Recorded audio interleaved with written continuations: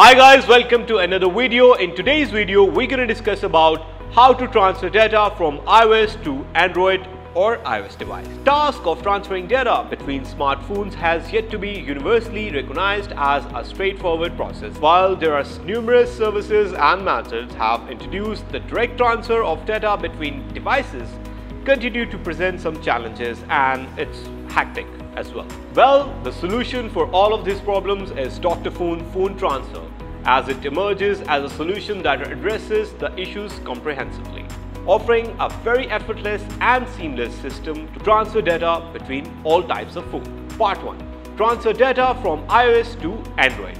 Step 1. Launch Phone Transfer Tool. Initiate the process by launching Wondershare's Dr.Fone on the computer. Continue from Toolbox phone transfer to redirect towards opening the particular tool. Step 2. Select device as source and destination. As it opens on a new window, the connected iOS device and Android device will be detected by the platform. As they are detected, the data is being detected and loaded on the platform, which is displayed on the bottom of the device. However, it's important for you to define the path for the transfer, thus the selection of source and destination. Use the flip button if needed to change the direction of the transfer, which can be between the devices. Step 3. Select data types and transfer. After the selection of the source and destination, continue to select the categories of the data that you want to transfer. Checkmark all the required data types and proceed to Tab to start the transfer button. You can also select the option of clear data before copy to clear out the existing data in the destination device. Step 4. Turn off iCloud syncing.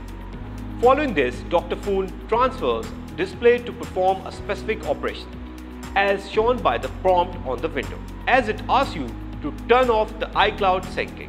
Open the setting of your iDevice and continue to select your name from the top. Proceed from iCloud Photos and continue to turn off the toggle of iCloud Photos on the screen. As a pop-up comes in the display, click the download photo and video option. Step 5.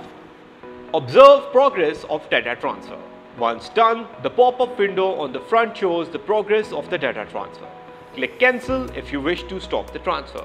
Step 6. Data transfer completes. As the data is transferred successfully, the complete details are displayed related to its completion. Click OK to close down the entire process. Part 2. Transfer data from iOS to an iOS device. Step 1. Set data transfer path on accessing the phone transfer tool. Continue to connect your iOS devices and let them load your data on the next screen. Here define the source and destination of the transfer to specify the direction of the phone transfer. To change the location, you can use the flip button on the top right. Step 2. Choose data types. After the successful determination of source and destination, Continue to select the particular data types that you look forward to transfer. Checkmark all the data and select the transfer to proceed with the operation. Step 3. Turn off Find My feature. Once done, a prompt appears on the front asking you to turn off the Find My feature on the iOS devices.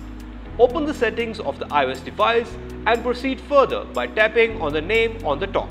Continue from iCloud to Find My feature and turn it off. Step 4. Observe phone transfer progress. As you turn off the feature, the data transfer initiated and a progress bar will clearly display the completion of the process.